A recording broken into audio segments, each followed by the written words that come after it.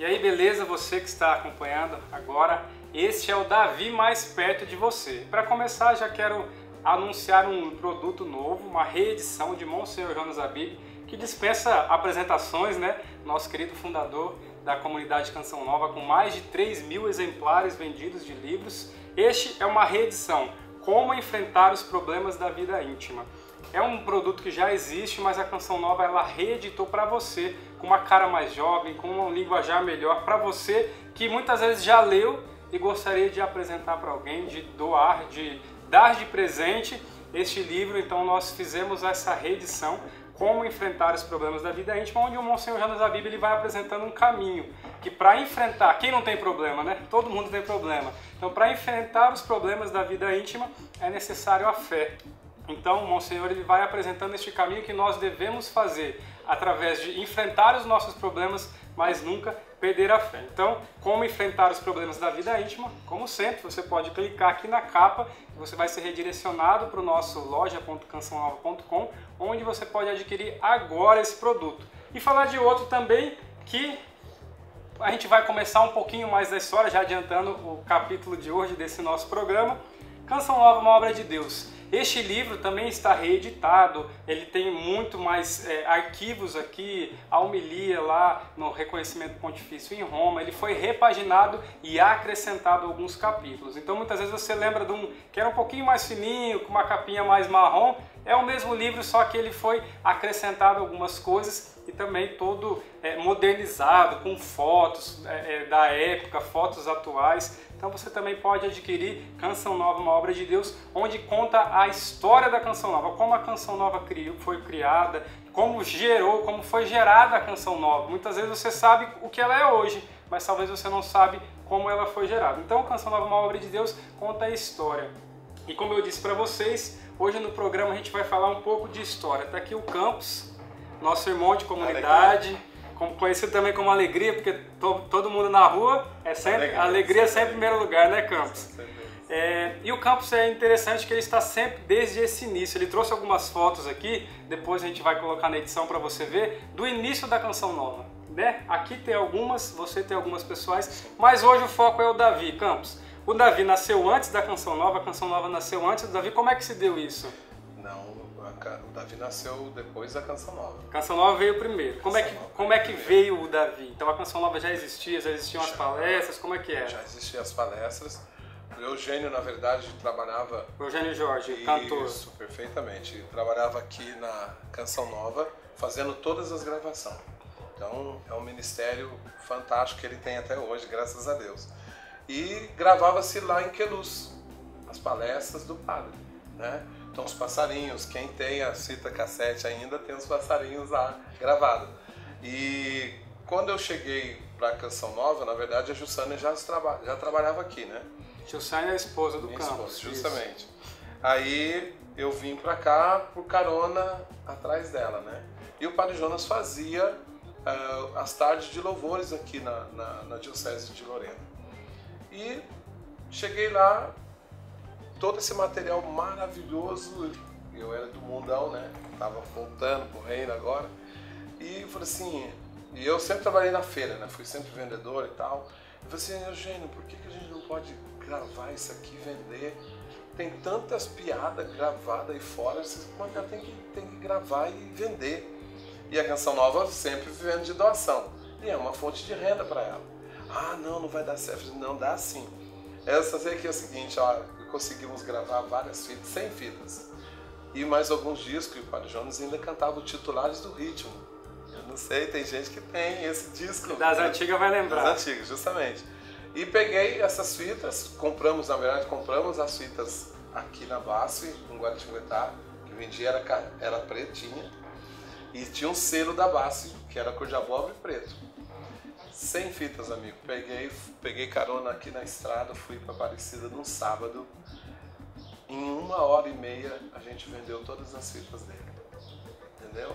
Aí tinha, porque sempre em Aparecida tinha muito fiscal, né? Que você, e eu levei um, uma lona de, de caminhão e pus embaixo do caminhão do rapaz. Quando vinha o fiscal, enrolava tudo, ficava quietinho lá do outro lado da rua. Qualquer coisa era lona do caminhão. Enfim, foi rapidinho para se vender. E começou a fazer duplicação. Aí o Eugênio, muito inspirado, começou a criar as capinhas para cada palestra e assim nasceu o Davi. Mas aí o, tem o Davi, né, tem o nome histórico. Né? A gente falou assim, ah, por que Davi? Quer dizer, Departamento de Áudio Visuais, né, que tem tudo a ver com a Canção Nova. Esse nome já tinha, só que daí começou a ter visibilidade com a venda dos produtos. Né? Quem tem até então as gravações eram feitas mandadas só para exibir nas rádios com o programa Estou no de Voz. E aí então era tudo manualmente. Trazia, manual. gravava fita. Quem lembra era gravador de tijolinho, você duplicava fita por fita. E aí o, o Dom Cipriano encaminhou depois é, o duplicador Rolling Sack e aí começou toda a produção. Então onde ah. o Padre Jonas ia, o Eugênio gravava e eu ficava na madrugada duplicando. Aqui tem um pouco dessa história também que fala de Dom Cipriano doando esse gravador pra gente, mas aqui tá a história viva, né? Aqui tá a história na letra, no papel, mas aqui tá a história viva. Conta um pouquinho pra gente, começou com as palestras e depois, quais foram os outros produtos que foram vindo? Aí veio as camisetas, né? Na verdade, a Canção Nova foi pioneira em, em lançar a camiseta com mensagem. Claro que depois os, toda boa ideia, santa ideia, né? Na verdade, é, é, ela é duplicada. Isso faz bem, você tem que publicar. Mas a Malvina também trabalhava, morava na comunidade e o esposo dela, o Bartolo, e ele desenhava muito bem. Então começou também a transcrever certas mensagens do Padre Jonas para camiseta, né?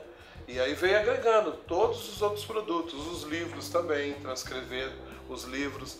O Padre Jonas é, já, já cantava, né? Porque foi o primeiro, ele e o Padre Zezinho, né, os dois pioneiros da música católica. E os dois realmente revolucionaram o canto dentro da igreja católica e fizeram. Então foi crescendo. E o Padre Jonas sempre à frente do seu tempo, né? Então todas as novidades de mídia, ele estava lá. E a gente conseguiu pegar carona no pé dele, porque o homem é ligeiro, ele tá. Quando a gente tá aqui, ele já estava lá na curva já há muito tempo, entendeu? Mas é isso. E assim, era, como eu disse, tudo muito manual, Sim. muito é, é artesanal. artesanal. O, qual é a diferença que você vê da canção nova lá de trás, que começou o Davi com a canção nova hoje, que tem CD, DVD, grava DVD de música, tem DVD de palestra, tem livros, tem camiseta, tem, tem muita coisa hoje, graças a Deus. Sim, é uma evolução fantástica. Né? Hoje você consegue gravar aqui e exportar isso. Antes nós tínhamos que ir na cidade buscar caixa de papelão e jornal. Essa hora é a hora de estar na cidade buscando papelão. Né? E tinha gente que queria tomar o papelão da gente, e era uma briga na cidade. Enfim, você fazer tudo na caixinha, bonitinho, para mandar pelo correio. É, lançamos a camiseta no rebanhão, primeiro rebanhão. Aí fomos no correio, pesar a camiseta por camiseta, somar o peso delas para a gente achar o preço nas capitais.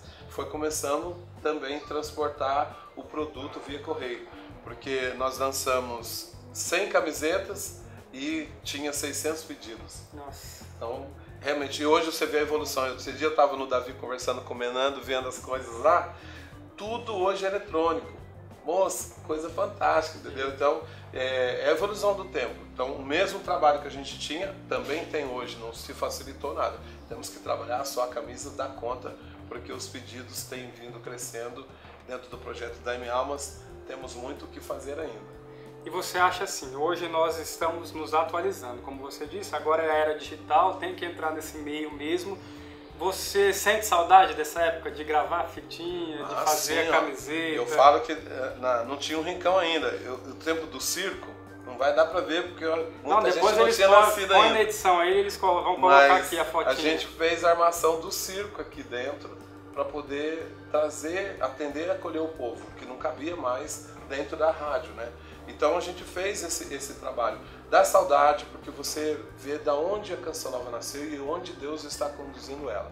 Então é uma missão, um ministério isto, né, para evangelizar. E, a, e o Padre Jonas também tem uma palestra que era cassete, que ao seu tempo Deus ia trazer o profissional para cá. Então se você perguntar assim, se eu sei de alguma coisa de mídia, nossa, pouquíssimo. Mas tem os profissionais hoje para dar conta, porque tem outras coisas a fazer, né? Então, é, você deixar à frente também outras pessoas virem inovando como vocês dessa geração aí, desse novo século, é chique. Eu acho que o mais interessante da Canção Nova é isso, a gente nunca deixou de evangelizar. Na época que era o circo, na época que era a fita cassete, O intuito era a evangelização. Hoje, com a mídia digital, o intuito continua sendo evangelização. O que for vir daqui para frente que a gente não sabe, a Canção Nova vai estar porque ela quer evangelizar, onde quer que esteja, porque essa é a nossa meta, esse é o nosso objetivo. Então eu quero agradecer a presença do Campus aqui, que trouxe um pouquinho da nossa história, da história do Davi, de como iniciou, mas já quero deixar um desafio para você.